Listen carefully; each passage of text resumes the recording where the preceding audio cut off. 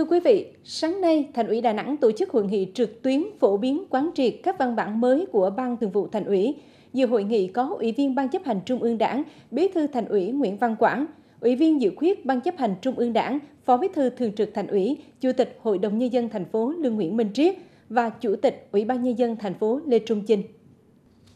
Theo đó, hội nghị quán triệt các văn bản quan trọng như Quy định số 2780 ngày 23 tháng 11 năm 2021 của Ban Thường vụ Thành ủy về tiếp công dân, đối thoại trực tiếp với dân và xử lý đơn thư gửi đến Thường trực Thành ủy, Ban Thường vụ Thành ủy. Quyết định số 1495 ngày 12 tháng 8 năm 2021 của Ban Thường vụ Thành ủy ban hành quy chế bảo vệ bí mật nhà nước của Thành ủy Đà Nẵng.